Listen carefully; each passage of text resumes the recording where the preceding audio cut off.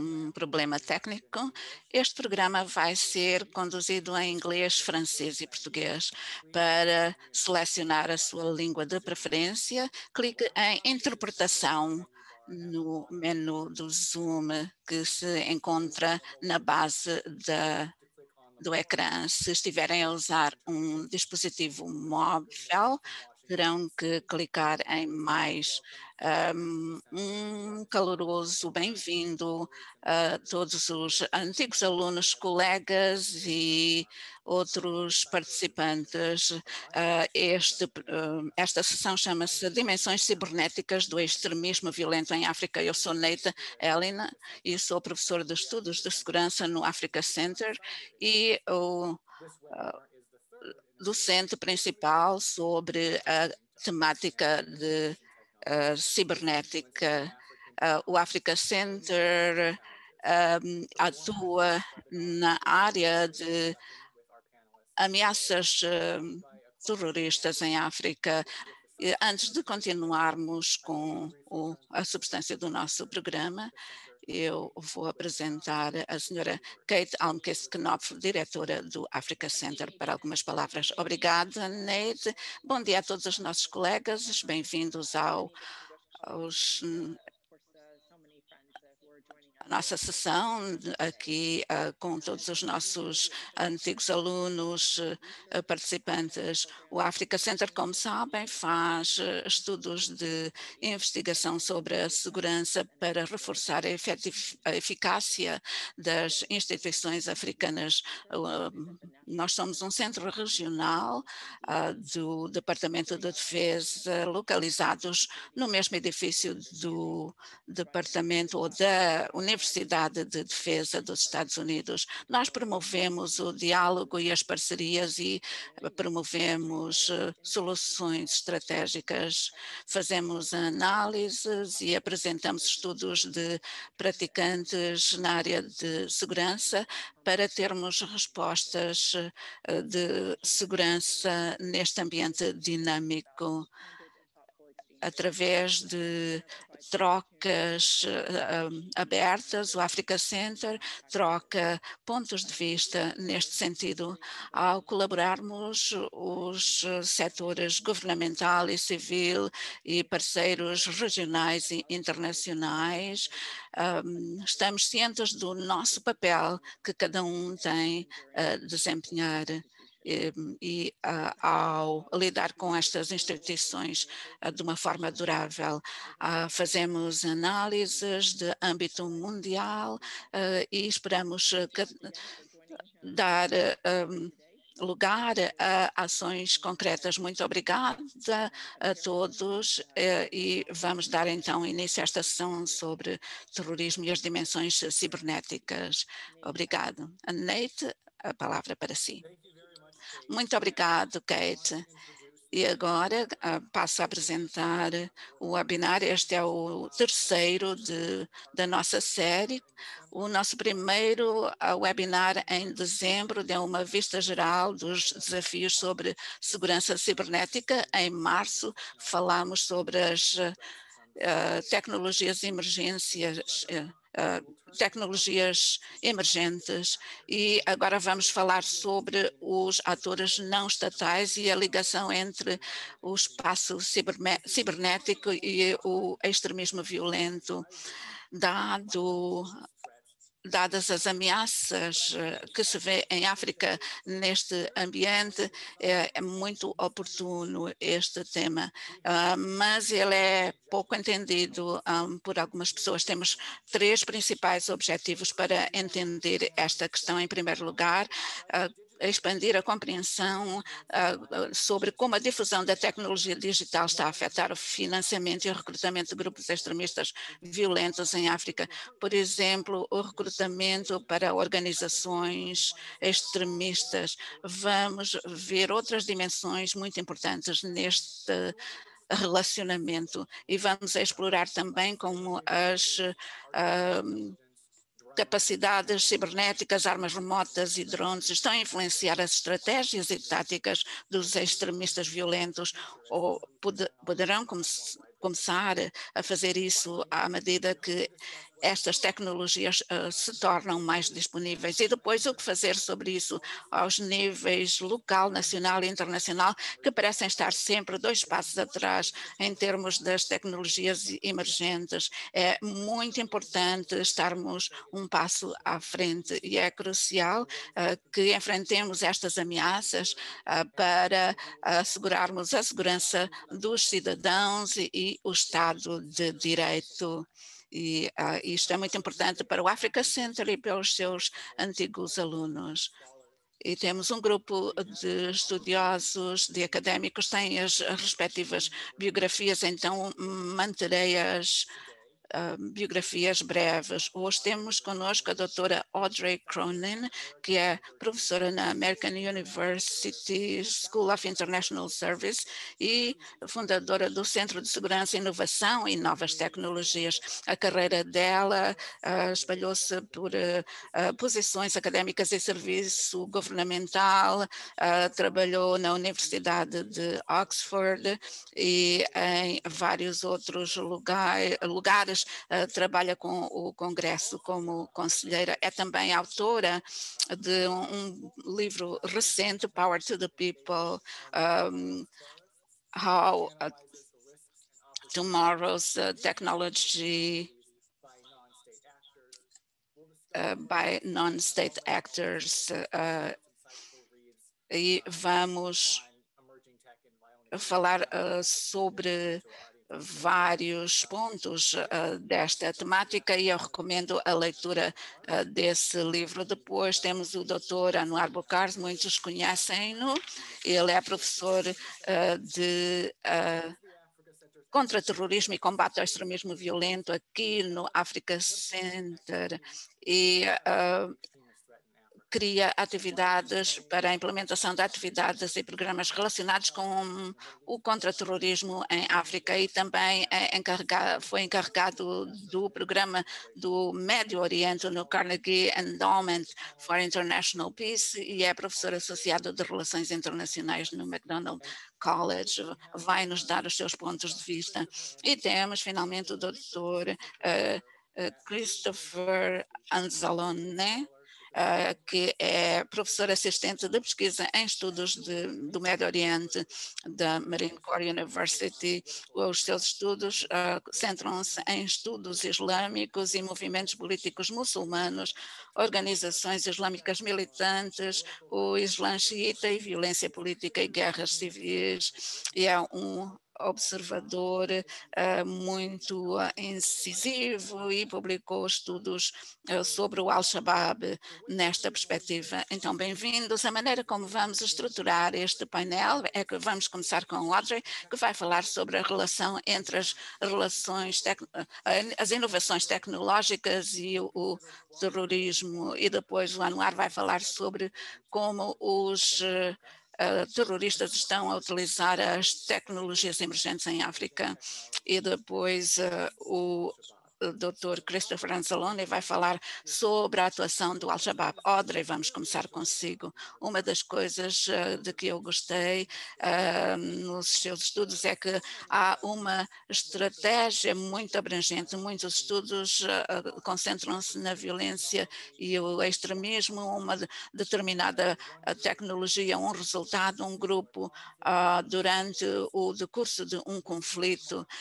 Este livro em contraste, analisa a relação entre a inovação tecnológica e a violência política nos últimos 50 anos ou, ou isso.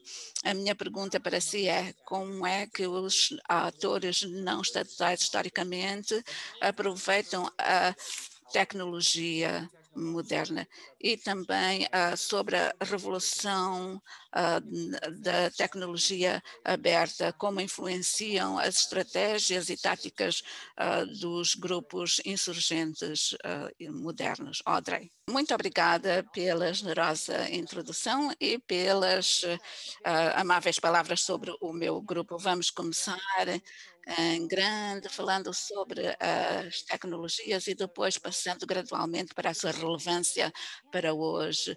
Nós não poderemos entender o que está a acontecer hoje a não ser que eh, pensemos nos padrões de inovação. Vou falar sobre o contraste entre as inovações tecnológicas abertas e fechadas. Uma revolução tecnológica fechada foi o que tivemos no século XX. As elites militares e políticas tinham acesso a, a armas como armas nucleares, satélites,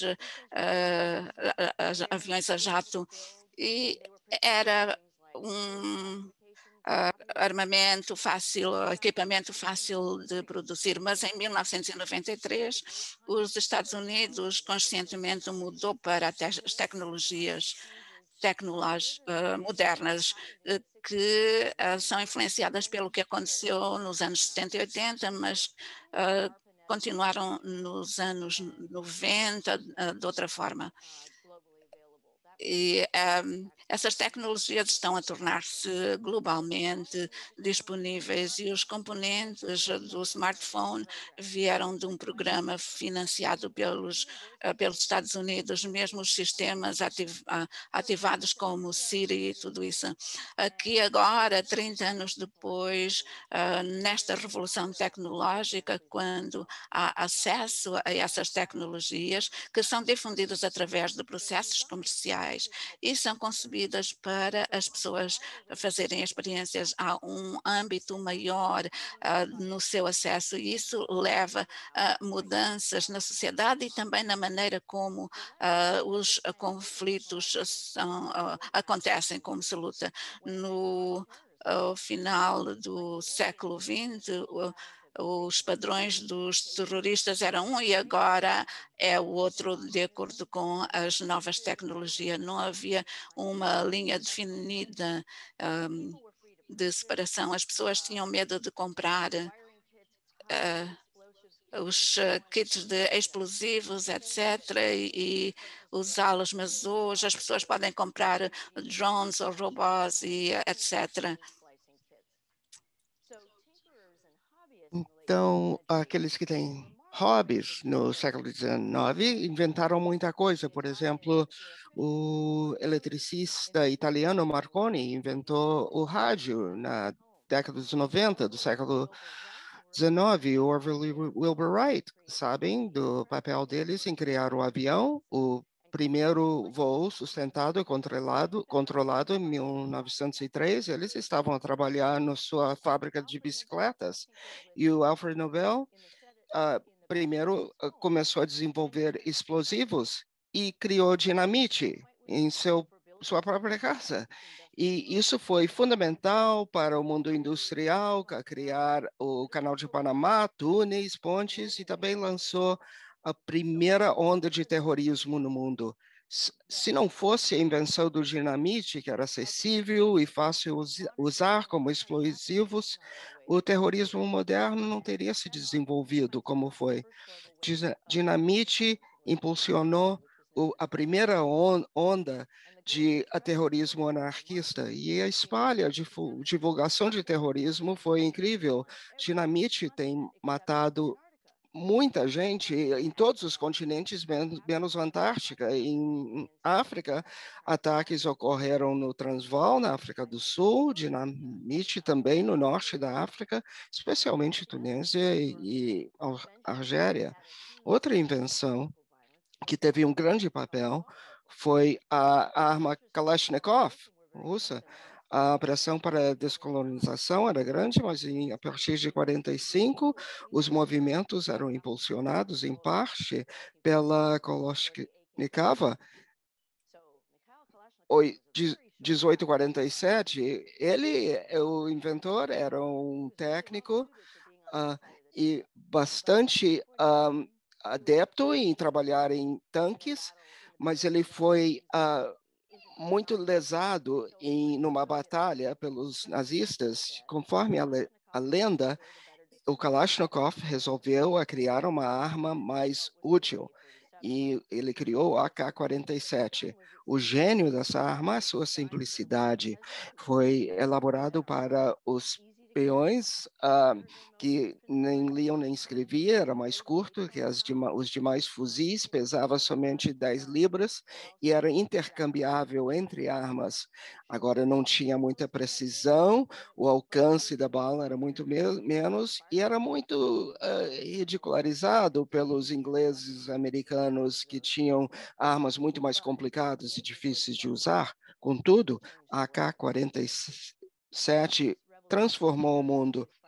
Revolucionários, terroristas, muito antes de então, têm usado armas, mas esse foi muito mais eficaz nas mãos de soldados treinados. Mudou completamente a equação e essa arma foi muito mais utilizado do que o M16 americano, por exemplo, foi distribuído pelo gov governo soviético e utilizado, aliás, como uma moeda de armas, proliferou-se através do mundo. A AK-47 foi singular no século XX, uma plataforma aberta tecnológica durante o período de inovação. Mas, assim como dinamite, o, o fuzil foi uh, simbólico nesse sentido de desenvolvimento.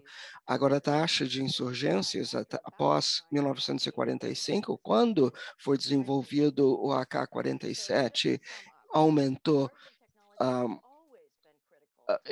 muito.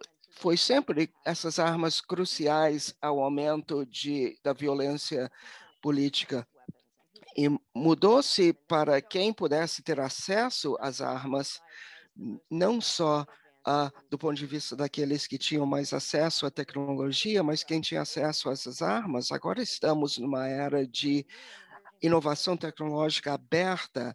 Essas tecnologias são impulsionadas por, por ah, fatores comerciais, tem muita inovação e essas tecnologias são a ser utilizadas são uh, fáceis de utilizar e muito mais acessíveis. Isso vai transformar os padrões da violência global à medida que, uh, que percorre as coisas.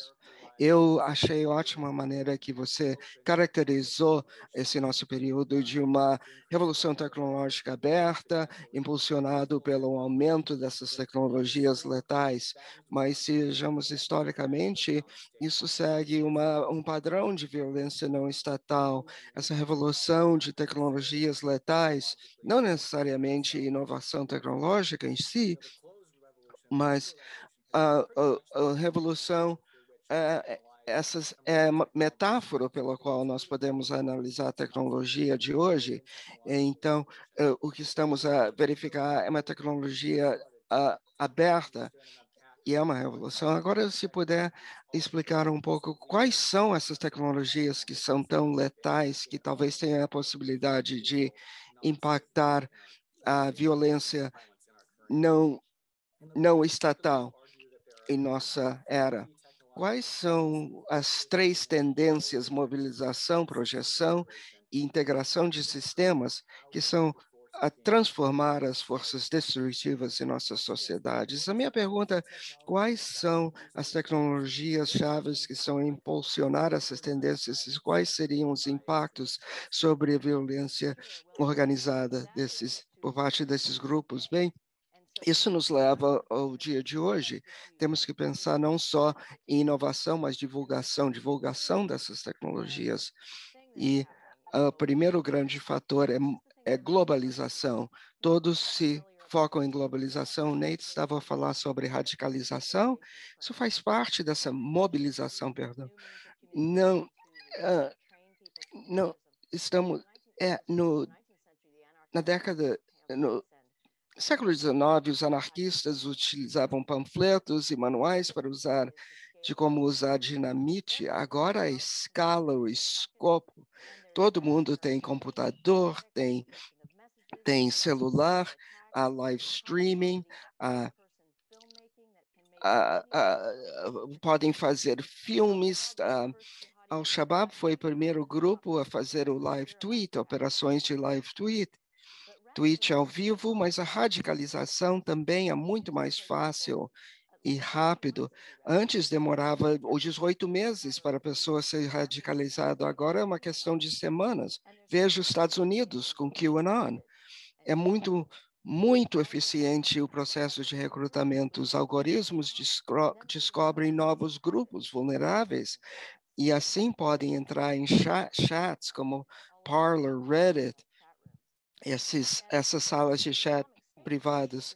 O Estado Islâmico utiliza uma comunicação estratégica que para atrair uh, recursos e intimidar os civis. E o que é interessante deles é que eles utilizam o é chamado Call of Duty, o, o jogo para um, os seus fins. Além de mobilização, uh, os terroristas podem uh, realizar ataques de distâncias mais longas. É a segunda tendência, inovação de alcance, de projeção de poder. Primeiro era mobilização, projeção de poder é, é a segunda tendência que tem se desenvolvido. As pessoas estão agrupando tecnologia, uh, pequenos drones, por exemplo, robôs, uh, impressoras de 3D estão alcançando o poder para o, uma gama mais ampla de atores. Primeiro começaram os primeiros drones para reconhecer, reconhece, reconhecimento, para intimidar as pequenas populações. Em 2017, na Ucrânia, utilizava-se eh, drones para um, jogar granadas sobre comunidades. Agora, os drones estão a ser utilizados pelo Talibã no Afeganistão. Em novembro, membros do Talibã utilizavam uma atriz TDJ, um quadcopter, para atacar o, a instalação do governador e os seus guarda-costas estavam a jogar futebol. Aí fora veio um explosivo em cima deles e vários foram mortos. Esses simples dispositivos têm grande impacto. Tecnologia anti-drone é muito, muito caro. E, e em grandes áreas pode custar milhões e milhões de dólares para esses sistemas. Muitos não podem custear isso. Outros drones são difíceis a detectar e derrubar. Antes daquele, uh, daquele uh, daquele atentado em Christchurch, na Nova Zelândia, Adam Waffen também tem utilizado esses meios para as suas propagandas. São uh, muito uh, baratos, então os, é, por exemplo, os Houthis em Iêmen estão a utilizá-los porque são tão acessíveis. Outro aspecto de alcance é reconhecimento facial para um, para identificar indivíduos para assassinar, impressoras de 3D, uma tecnologia mais antiga, mas está a ser muito mais disponível, estão a utilizar plataformas encriptadas para, impress, para imprimir coisas. Tem a capacidade agora de imprimir fuzis que são que funcionam. Isso é potencialmente um desenvolvimento muito perigoso e somos alvos muito mais vulneráveis, com o mundo saturado por esses uh, sistemas cibernéticos, há sensores que são vinculados à internet. Isso tem aumentado a vulnerabilidade das pessoas e a habilidade de uh, alcançar as pessoas via internet. Vemos aqui nos Estados Unidos esse esse duto uh, colonial que foi atingido. Como lidamos com toda essa tecnologia? A tendência agora é a integração de sistemas. É o início, os sistemas estão a se tornar tão avançados que a inteligência humana não consegue administrar tudo. Então, temos esses graus de autonomia. A máquina pode agir sem o envolvimento direto do humano. Há essas maneiras, formas simples de autonomia, que são muito mais simples. Muitos grupos jihadistas estão manifestando interesse nesses sistemas e, com frequência, nesses ambientes, os países como Rússia, China, Estados Unidos, quando utilizam esses sistemas, utilizam esses sistemas que podem, que os outros podem ter. o que eu estou dizendo é que antes requeria um exército profissional de Estado para mobilizar, para projetar o poder e para integrar. O que estamos a verificar é que indivíduos e pequenos grupos e pequenos exércitos não estatais, terroristas e grupos terroristas, agora eles podem realizar estes três. Muito obrigado, Audrey. Eu acho que foi uma maravilhosa uh, resumo de como a, a violência não estatal está a ser afetada por esses fenômenos e como a integração serve-se como uh, algo revolucionário hoje. Anuar, agora eu gostaria que você explicasse um pouco do que ouvimos e como isso se aplica ao contexto africano, vamos revisar primeiro o que sabemos sobre o vínculo entre a tecnologia digital, a, a tecnologia de comunicação e o extremismo violento, como que ICT tem influenciado o recrutamento, o financiamento, a organização e as táticas dos extremistas violentos em África. Uh, preocupa-se no ataque cibernético, fomos avisados sobre isso, e há outras dimensões e maneiras pelas quais os extremistas utilizam essas tecnologias digitais que você acha mais importante, Anwar? Obrigado, Nate. Os grupos violentos eh, extremistas utilizam a informação e as tecnologias emergentes e se explorarmos eh, a questão, eh, eles ainda não têm uma avaliação sistemática para avaliar o extremismo violento e as táticas. Há alguns estudos que existem e como fez notar né, em alguns seus estudos, eles tentam atribuir um significativo grau de sucesso a estes grupos na maneira como exploraram esses meios, mas é de importância crítica saber que há diferenças uh, grandes como exploram a situação em África em comparação com outros grupos sobre o que fizeram na Europa, nos Estados Unidos ou no Médio Oriente, através, apesar do crescimento rápido destas tendências e o acesso à internet e o uso de telemóveis, os, esses grupos como fez, como mencionou num dos seus estudos, atuam em áreas rurais e onde a internet, a penetração da internet não é tão forte. Eu diria que uh, às vezes há cinco ou seis categorias que se sobrepõem sobre a maneira como a tecnologia é utilizada para apoiar a atuação terrorista e também a propaganda que inclui recrutamento, incitamento e há também o, a formação, financiamento, planeamento e a informação de fonte aberta, a execução de tudo isso.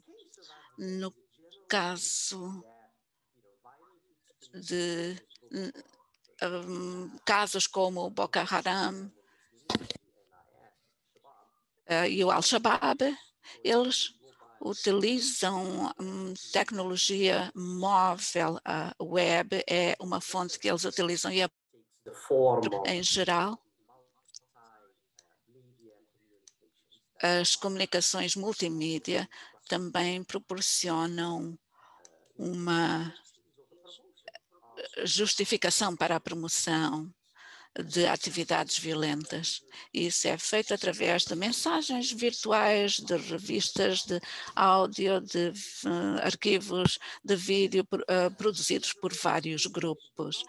A tecnologia da informação e comunicação também permite grupos violentos, extremistas, controlar o ritmo e o conteúdo das mensagens. Eles têm a possibilidade de atingir um, públicos vastos e utilizam plataformas comuns como YouTube e enviam mensagens cifradas para atingir uma certa audiência, especialmente quando enviam mensagens a terceiros. Há também comprovação de que há grupos como o Boko Haram e, e outros que utilizam a internet e a tecnologia móvel para recrutar a sua propaganda é personalizada para competir com, isto é, para atrair grupos marginalizados da sociedade e aproveitam o sentimento individual, de, o sentimento de injustiça, etc. E como uh, mencionou a propaganda, a propaganda, também usa os fatores demográficos, uh, jovens, uh, divisão por género, etc. Os grupos violentos extremistas também usam a internet para financiar o terrorismo. A internet é básica uh, e há comprovação de que há uh, crimes que são possibilitados através uh, da tecnologia cibernética. Quanto às alternativas eh, de instrução, muitas vezes são utilizados tópicos uh, multimídia, uh, como utilizar armas, como planear e executar ataques terroristas. Sabemos que o Boko Haram utilizou comunicações na internet para executar alguns ataques. Os seus membros, uh, alegadamente, utilizaram uh, mensagens telegráficas para esse fim. Acredita-se que o grupo utiliza informação na internet uh, para construir, a fabricar dispositivos explosivos e como despoltá-los. E esses grupos também utilizam drones, uh, falou sobre a possibilidade, possibilidade de violência a nível cibernético. No contexto africano, vimos que isso acontece, assim como em outros lugares. A possibilidade de que grupos como GNM e Boko Haram e outros recrutam membros um, isso uh, mostra que há essas possibilidades. O que descreveu como sabotagem cibernética em 2012, uh, ah, que ocorreu online, um, membros de insurgentes nigerianos. Mas, em geral, o lançamento de ataques cibernéticos apresentam desafios como a internet uh, com fraca conexão e uh, há a possibilidade de haver uh, o desenvolvimento de armas. Nathaniel, ah, muito obrigada, Anuar. Eu concordo que um ataque de grande envergadura em África é uma possibilidade, mas também comparando com a ameaça, como disse há tantos, outro, tantos outros elementos ainda não com, hum, completamente entendidos eh, que uh, mostram a, a, atuação desses grupos em termos de financiamento e operações. É. Agora gostaria de falar sobre, ouvir falar sobre a tecnologia uh, emergente que a Audrey uh, menciona no seu livro, mas que está a tornar-se disponível comercialmente uh, recentemente. Como é que as tecnologias emergentes como drones, inteligência artificial e sistemas autónomos ajuda as organizações extremistas terroristas em África e uh, como se pode limitar a ameaça até certo grau. Quais são as tecnologias uh, que mais o preocupam, tecnologias que mais o preocupam atualmente quais são as tecnologias emergentes que mais o preocupam e como isso pode influenciar o extremismo violento em África? Uh, claro, excelente pergunta.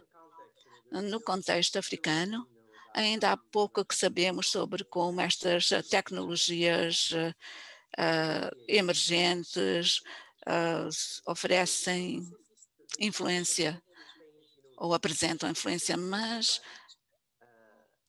Quanto aos factos, há eh, cenários eh, em que são utilizados os drones, por exemplo, a, a probabilidade desses cenários no continente africano, as ameaças, a, a avaliação das ameaças uh, são baseadas nas capacidades reais e na tecnologia.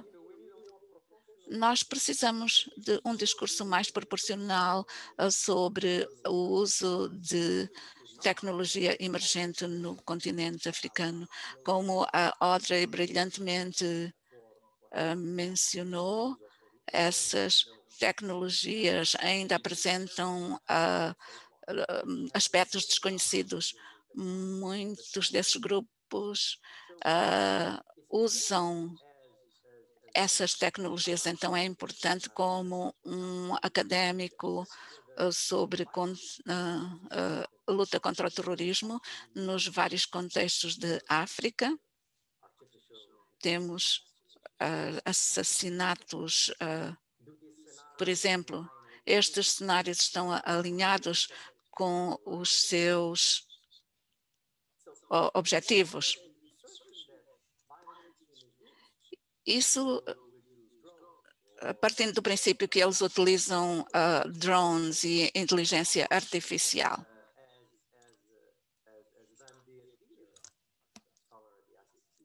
Just as we all do, all of us, you know, we can assume that... Nós podemos dizer que os grupos violentos uh, podem podemos... beneficiar de outras formas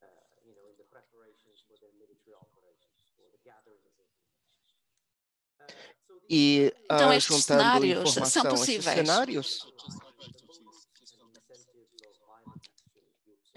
esses grupos violentos, extremistas, mas adotamos a tecnologia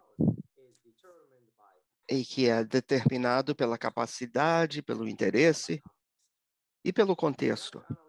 Precisamos analisar como os grupos como o Corão que vamos analisar e Al-Shabaab podem procurar e divulgar uma tecnologia definida. Precisamos uh, analisar as capacidades financeiras e tecnológicas e também analisar a inovação.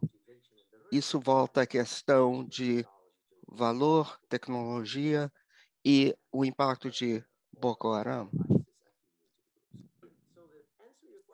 Para responder a vossa pergunta sobre tecnologias, o que me preocupa mais são os drones. A pergunta é se os grupos violentos em África podem se importa isso para eles. Mas sim, acho que sim. O primeiro fator em avaliar essa possibilidade são os os investimentos financeiros que isso implica. Como já disseram, o quão mais caro o,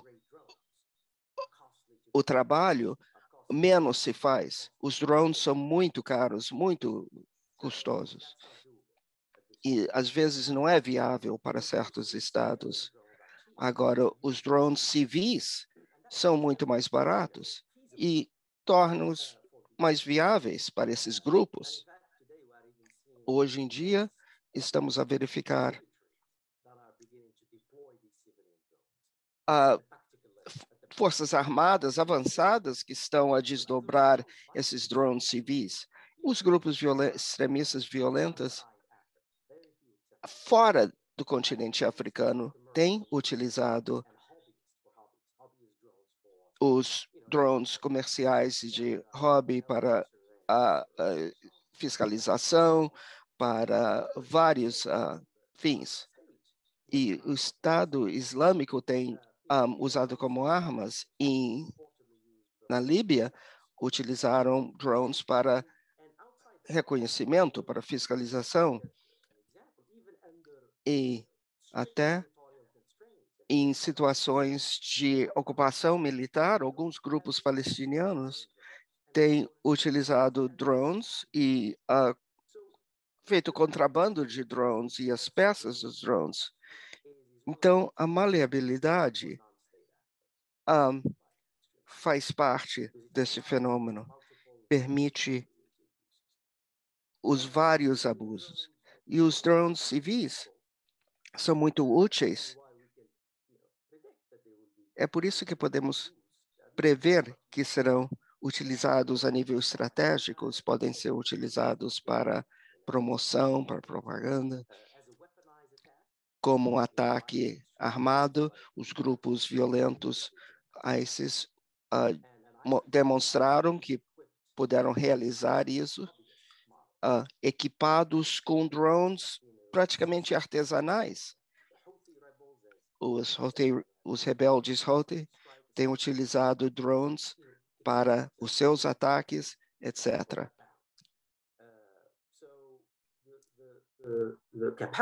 Então, a capacidade existe no continente africano, mas presumimos que isso vai acontecer e muito em breve, a, a palavra para si. Muito obrigada, Anuara.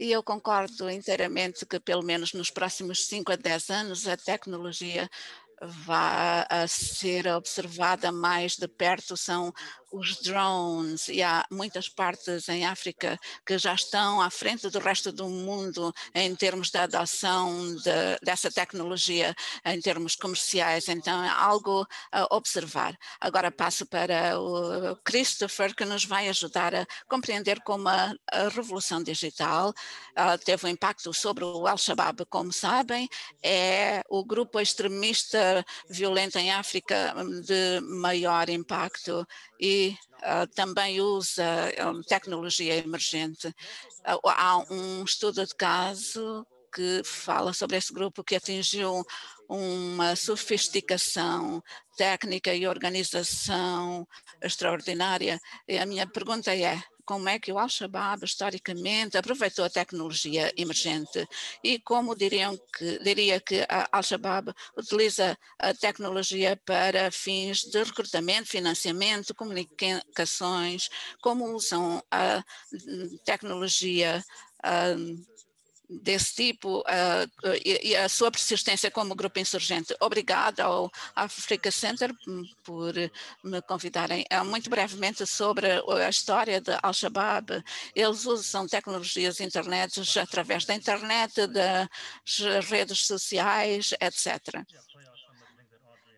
Uh, e para retomar os temas que foram abordados pela Audrey e o Anuar, há perguntas importantes Uh, para Al-Shabaab, vale a pena investir, por exemplo, em drones, uh, como armas. Podem fazer isso com essas uh, capacidades, vão uh, receber investimento, uma vez que são caras.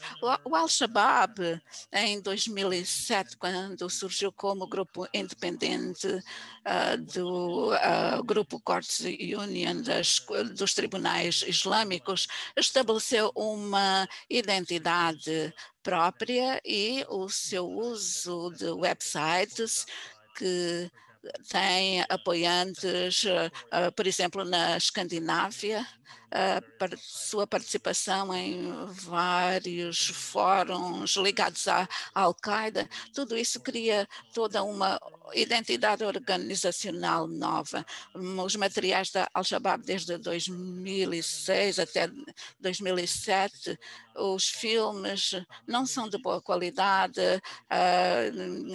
Uh, são uma mímica da propaganda, dos filmes de propaganda da Al-Qaeda, mas uns anos depois, 2009 em particular, final de 2009, começamos a ver narrativas mais sofisticadas e estruturadas nos seus filmes de propaganda e a qualidade de, das filmagens é melhor. E agora alguma da sua propaganda é pseudo-documentário.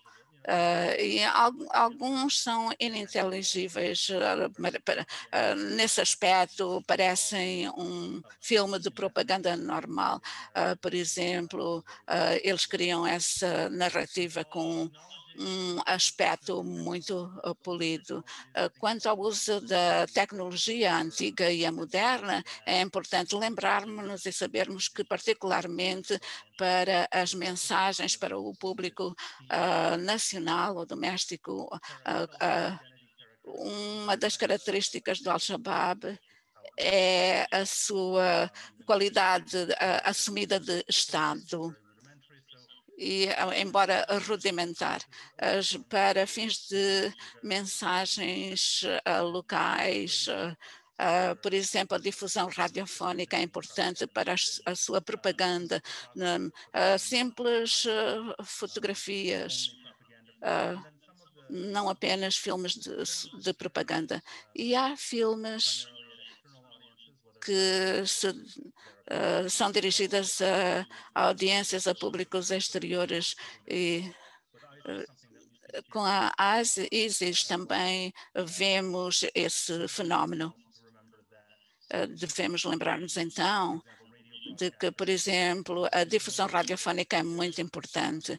Em grande parte deste ano, houve dois ataques aéreos que destruíram ou, ou danificaram uh, as estações de rádio da Al-Shabaab e eles ficaram temporariamente uh, uh, afetados. Eles disseminam essa propaganda e ao, ao, com o passar dos anos, Al-Shabaab começou a ter uh, um, equipas integradas nos ataques, por exemplo, na União Africana, uh, operando com uh, ataques em Mogadishu, por exemplo, começaram a fazer isso e também tornou-se bastante claro que eles mantenham, mantêm equipas robustas e mantêm uh, arquivos uh, substanciais e robustos que utilizam nos seus filmes. Este não é apenas o meu ponto de vista.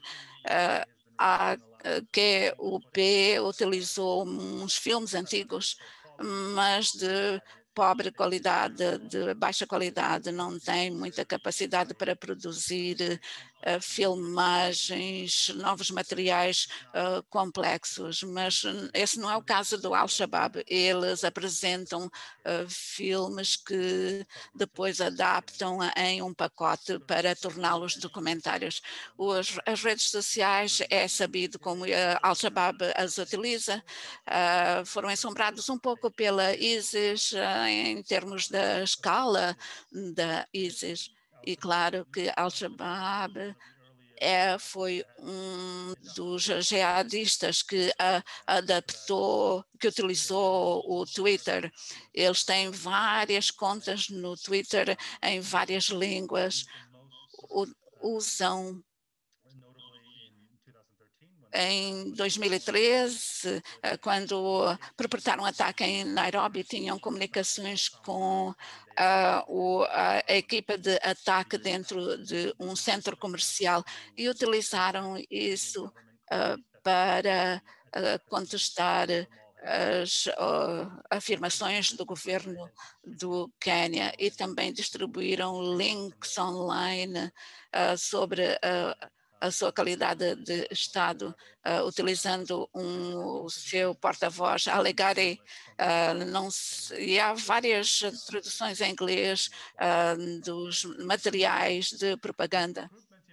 Quanto ao recrutamento, as questões que foram levantadas, por exemplo, pelo Anuar, muitas vezes neste debate ultrapassa-se o contexto de África, E o Al-Shabaab recruta na região, no Corno de África, por exemplo, uh, e ao mesmo tempo uh, expande a sua presença online uh, desde 2007. Eles têm redes de recrutamento na África Oriental desde 2007, provavelmente antes, quando eram parte do, da União dos tribunais islâmicos fizeram uma expansão digital e uh, dos meios de comunicação. Eles recrutam também dentro da diáspora, uh, na, entre suma, uh, somalianos, etc.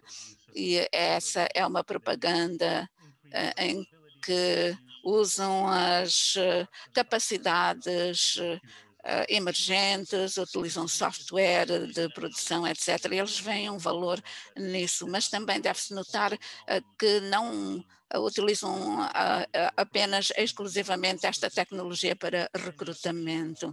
E a mesma pergunta, a mesma questão quanto ao financiamento. A Al-Shabaab utiliza essencialmente extorsão para uh, recolher uh, impostos e também fazem transferências uh, através de, de telefonia móvel e fazem transferências de, entre contas bancárias, mas utilizam transferências de dinheiro através de telemóveis. Não é a mais nova tecnologia para financiamento. E eu fico por aqui. Obrigado. Uh, Chris, uma pergunta de seguimento. Eu quero deixar algum tempo para as perguntas e respostas. Se poderia responder brevemente. Mencionou que uh, está preocupado com a ameaça dos drones pelo, utilizados pelo Al-Shabaab e, por exemplo, como resultado uh, dos ataques deles em Mandabay. provavelmente esta é a tecnologia letal emergente uh, mais importante em África, de, que é atra, atraente para a utilização destes grupos. Eu queria ver a sua perspectiva. Como é que Al-Shabaab vê essa ameaça? É, eles estão interessados? É, factível.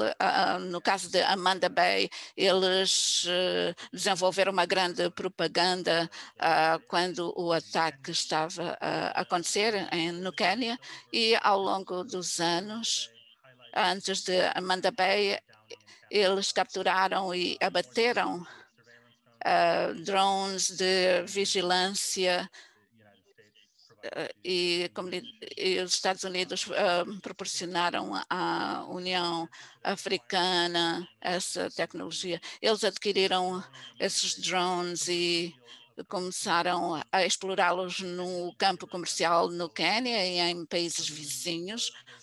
E embora haja um, projetos emergentes no Quênia para produzir a entrega ou a entrega de drones. Al-Shabaab tem redes no Quênia e na, na Somália, aliás, e também tem uh, infiltrações nos portos e uh, quanto ao, uh, aos impostos que eles cobram e sabem que cargas chegam e quando e eles mostram que são capazes de uh, utilizar várias mercadorias e adaptá-las para uso militar. Eles usam os drones uh, especialmente para ações de vigilância e ataques em bases operacionais fora de Mogadishu. Muito obrigado, Christopher. Agora vamos passar ao período de perguntas e respostas. Ainda não temos muitas perguntas, então uh, pedimos, se tiverem perguntas, utilizem a funcionalidade de chat uh, para enviarem perguntas para os oradores do painel. Podem enviar as uh, vossas perguntas em qualquer das línguas de nossas línguas de trabalho. E enquanto esperamos pelas perguntas. Uh, temos uma uh, pergunta de seguimento para os três. Cada um fez uma exposição sobre a importância da tecnologia emergente a nível regional, nacional e internacional. O uso cibernético é um elemento pessoal da tecnologia e nós sabemos, temos que uh, também considerar qual é a resposta do Estado à utilização uh, de, pelos terroristas dessa tecnologia e o seu impacto nos direitos humanos. Esta é uma pergunta difícil. Como é que os Estados africanos podem conciliar a necessidade de adotar estas tecnologias e responder às ameaças que os grupos extremistas constituem e como eles estão a utilizar a tecnologia com a necessidade de um, proteger uh, os cidadãos e a democracia. Audrey, eu vou manter-me breve no contexto da Somália, especificamente, e eu vou ligar isso à questão mais ampla da politização dos serviços de segurança e dos serviços secretos. É um é um conflito entre o governo federal e os Estados-membros eh, que continua a observar se os serviços de inteligência ou de serviços secretos têm sido politizados e é necessário haver um esforço concentrado para assegurar eh, que os serviços de segurança utilizem este novo tipo de tecnologia quer, quer seja a TV em circuito fechado, de uma forma democrática eh, para eh, assegurar tudo isso no contexto da Somália. Essa é uma questão importante e potencialmente de preocupação. Muito obrigado, Anwar. Eu não sei, eu acho que o desafio é como chegamos àquele equilíbrio entre combater o ciberterrorismo e o crime e preservar os direitos e as liberdades. Nossos países estão a produzir legislação para um, alcançar esse equilíbrio e, ao mesmo tempo, atacar o ciberterrorismo. Quer dizer que o ciberterrorismo tem que ser definido de uma maneira precisa e também entender melhor os papéis e responsabilidade das partes interessadas, intervenientes, e precisamos considerar isso tudo com cuidado. O que temos verificado em alguns contextos africanos é que o governo, a luta por parte do governo contra o, o ciberterrorismo ameaça os direitos civis e os direitos humanos. Tecnologia de fiscalização e, e a luta contra o terrorismo frequentemente se torna atividades contra os direitos individuais. Egito, por exemplo, que é, está sob um, um regime autoritário, autoritário, verificamos que uh, toda crítica ao governo é considerado um ato terrorista. Então, esses regimes têm novas capacidades de impor, de reprimir a oposição. É esse o desafio que enfrentamos. Como alcançamos esse equilíbrio entre a, a tecnologia e a proteção dos direitos. Não se pode conter o terrorismo sem esse respeito para os direitos civis. Temos que ver isso, Aldrin. Eu acho que os meus panelistas uh, responderam muito bem. Eu tenho pouquíssimo para acrescentar. Eu concordo com a Anwar Christopher, mas eu também diria que algo que me preocupa é essa tendência de corrigir demasiadamente e de colocar uma arquitetura estatal sobre essas liberdades civis e individuais. Um dos aspectos mais importantes que o governo tem em mãos e mais importante do que a tecnologia e armas é legitimidade. Legitimidade é minado quando os direitos são abusados. preservar a legitimidade e o Estado de Direito são primordiais. E tendo uh, regulamentos contra certos, uh, certas tecnologias letais é uma coisa, mas uma resposta uh, super, de supervisão que é exagerada contra as pessoas é outra coisa. Agora, o equilíbrio, portanto, é crucial. Absolutamente é bom levar em mente que, à medida que respondemos a esses grupos terroristas, a legitimidade é importante, é um dos impulsionadores dos terroristas, é um, alegar que os governos são ilegítimos. Temos algumas perguntas bastante perspicazes. Temos, um, vamos pedir que cada panelista um, transmita suas ideias sobre essas perguntas. Não precisa responder todas as três, porque talvez não tenhamos tempo. Talvez sim. Primeiro, uma pergunta, eu acho que essa é muito boa, que em até que ponto que a utilização dessas novas tecnologias pode ser considerada uma vulnerabilidade para as organizações terroristas. Utilizando telefone, GPS, já se tem um registro das suas atividades, isso abre um, uma certa vulnerabilidade. Curioso saber a resposta, a reação dos panelistas.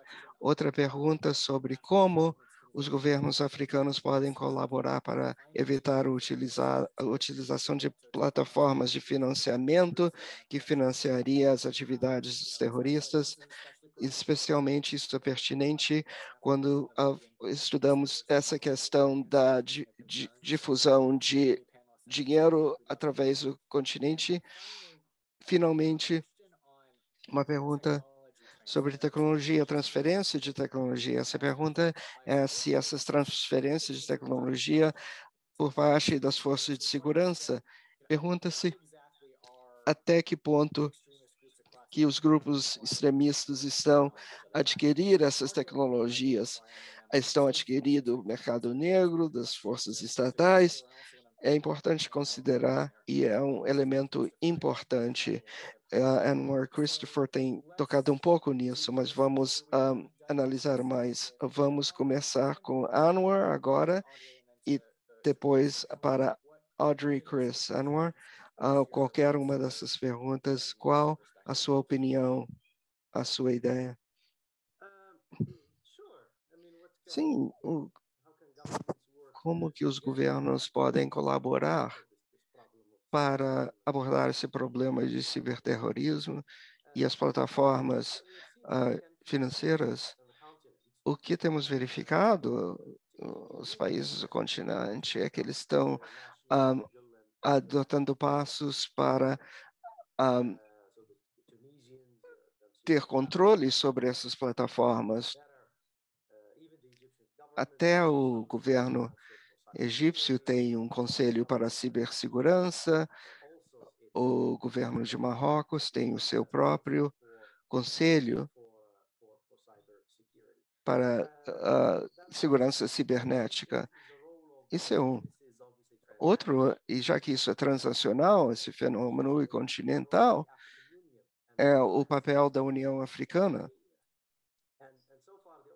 até agora, os documentos que temos a nível da, da União, que é a Convenção de Cibersegurança e Proteção de Dados Pessoais, em dos 54 países, somente 14 assinaram e 7 ou 8 têm ratificado essa legislação. Isso demonstra que o desejo político para implementar isso ainda não existe. E, uh, além do mais, a convenção não tem a força que deveria ter. Precisamos pelo menos 15 membros. O documento tem uma estrutura, questões para os países membros, mas só pode servir como orientador. Os países membros estabelecem os seus próprios sistemas de uh, segurança cibernética, mas cabe aos países individuais implementarem as suas próprias leis. esse, essa é uma maneira a nível estatal de abordar a questão. Eu acho que vou encerrando por aí. Andre, o Anwar tem falado sobre um, um, eu vou, dois, eu falo sobre um e três, e o Christopher pode acrescentar. Antes de começar, eu queria acrescentar a minha apresentação e falar sobre o painel, que eu queria esclarecer que os pequenos grupos terroristas vão continuar com essas tecnologias antigas, não vão parar de usar bombas e fuzis e armas, não vão terminar a usar a, atentados com, com facas e navalhas e armas. Nada disso que está acontecendo agora elimina aquelas maneiras tradicionais. Agora, como se integra o novo? É, nós temos os quadcopters e o potencial para impressão de 3D. As novas tecnologias têm contramedidas, especialmente rastrear celulares, existem contramedidas, portanto, e o chave é educar as forças uh, governamentais para utilizar respostas granulares que funcionam no contexto do Estado de Direito, que não reprime as pessoas, mas é possível se conhecer a tecnologia para implementar várias contramedidas. Isso seria outro tema em si, mas muito importante para analisar quanto às transferências de tecnologia. Historicamente, a maioria dessas tecnologias, os grupos não estatais, são roubadas ou repropositadas das forças militares. Então, eles demonstram como utilizam. Esta é uma questão muito grave. Não podemos ignorar a ameaça das novas tecnologias, elas estão a ser integradas nas uh, várias forças. Muito obrigada, Audrey. Agora, Chris, por favor. Muito brevemente, para responder algumas das perguntas, há um aspecto negativo quanto a esses grupos. Há um professor Mancaus uh, que fez um estudo sobre uh, Al-Shabaab e uh, ele Al-Shabaab tem desertores e houve um uh, combatente americano que foi matado, morto pela Al-Shabaab, utilizava o YouTube para postar os seus próprios vídeos, de, uh, também desertoras da ISIS em 2014 e 15 vimos esses casos. Al-Shabaab também está ciente uh, e da capacidade de, de rastrear os telemóveis.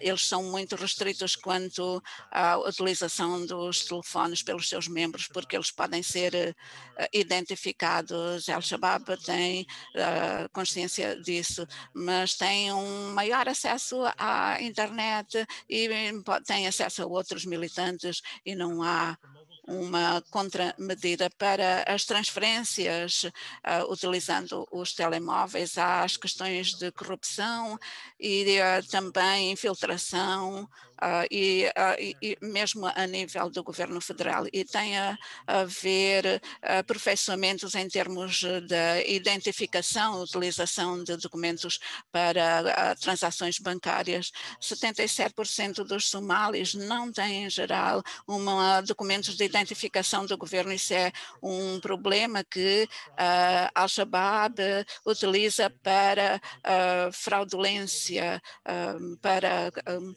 a abertura de contas fraudulentas, porque há várias transações com transferência de altos volumes de dinheiro e a transferência de tecnologia. O André mencionou que ela, Audrey mencionou que muitos uh, atores internacionais e, e, nos Estados Unidos, a Turquia utilizou drones na Somália, a União Africana tem o drone de vigilância Raven e for, nas, as forças da União Africana têm a capacidade de uh, ir atrás dessas armas e uh, explosivos através da regulamentação ou controlar como esses drones e, uh, são distribuídos ou e devido a Al-Shabaab ser capaz de atuar dessa forma. O, o título é que é, é, é uma espada de dois gumes uh, que se pode atribuir a esta tecnologia nas mãos dos grupos extremistas, mas também os uh, atores estatais uh, têm que atuar, a tecnologia permite responder às ameaças eh, não estatais e reforçar a segurança e assegurar os direitos humanos. Há, há outras perguntas que a Audrey talvez possa responder. A pergunta é, a tecnologia digital pode mudar o equilíbrio global do poder entre os atores estatais e não estatais, porque esse é um tema fundamental nesta discussão, qual é a sua opinião? Essa é uma muito boa pergunta e com a qual nós estamos a lidar nas democracias, porque temos esses dois grandes modelos sobre o que será o futuro. Temos a, a vigilância a, no, nos regimes dominadores e também a desordem e o uso da força, de força letal por eh, atores não estatais. Entre essas duas coisas há, há problemas, eu sou, uh, mas eu tenho otimismo quanto a, a, construir um modelo de governação que não vai mudar o equilíbrio do poder, uh, que há, vai haver uma governação que representa as pessoas, mas não se pode negar que as novas tecnologias constituem constituem um desafio. E encontrar esse equilíbrio é a questão mais importante no futuro, em termos da governação democrática para considerarmos. Obrigado. Uh, um timing muito bom, boa resposta, e com isso permitam-me, em nome do Africa Center e dos nossos antigos alunos, por este excelente painel, uh, foi uh, demonstrada uh, esse, uh, a relação entre nova as novas tecnologias e o extremismo uh, terrorista. Uma das conclusões que eu tiro é que temos que compreender melhor a relação entre as tecnologias emergentes e o terrorismo uh, extremista em África. A Audrey falou sobre a revolução tecnológica aberta, várias tecnologias que influenciam a nossa capacidade uh, de uh, lutar contra a mobilização e a projeção do poder dos grupos terroristas. O âmbito da ameaça é maior do que a influência da internet. Isso, Hum, isso é um, um, aspecto importante, mas apenas um aspecto do problema. E, por exemplo, a possibilidade de um desses grupos desenvolver a capacidade tecnológica uh, moderna, isso é um elemento apenas do problema. Contudo, eu também acho que precisamos de não exagerar a ameaça, como o Cris e o Anuar disseram, não podemos atribuir a qualidade revolucionária, revolucionária a todas as tecnologias. E uh, quando há uma mudança uh, quando houver uma mudança tão radical que transforma o caráter e o escopo, o âmbito da ameaça, uh, o que é que se faria? Mas, em vez disso, as mudanças da tecnologia e as práticas dos grupos extremistas parecem ser incrementais. Há ocasiões em que a tecnologia é mais influente do que outras tecnologias mas há sempre desafios eh, ao utilizar-se a tecnologia. E, finalmente, só porque estamos a passar por um período no qual, como mencionei antes, estamos a hum, ver todo o tipo de ameaças, isso não quer dizer que a cura tem que ser pior do que a doença. A tecnologia tem importantes consequências quanto à organização e financiamento e recrutamento desses grupos terroristas, mas como respondemos também tem consequências sobre como o Estado é estruturado, como é governado e, mais crucialmente, como uh, informar os cidadãos uh, e uh, ver alterna alternativas. E como os oradores sublinharam, a, a vigilância não é uma receita cabal para a, resolução destes problemas, porque os uh, conflitos violentos em África uh, podem atestar quanto a, a, isso. Com esses, essas reflexões em mente, agora, infelizmente, chegou a hora de concluirmos o nosso webinar e uh, Uh, agradeço de novo aos nossos três oradores, a Audrey, o Anuar e o Cris, por as suas excelentes exposições e podem consultar mais sobre estes temas de uh, cibernética, das dimensões da cibernética do extremismo violento em África e podem participar, convidamos-los a participar no nosso webinar em julho sobre o mesmo tema. Muito obrigado.